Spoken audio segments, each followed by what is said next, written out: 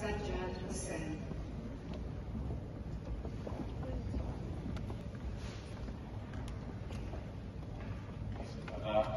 Mr. Hussain, by the authority and on behalf of the Masters of the Bench, I publish each of you a barrister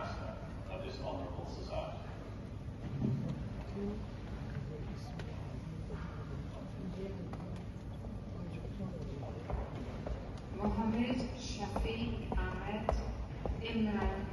Amen.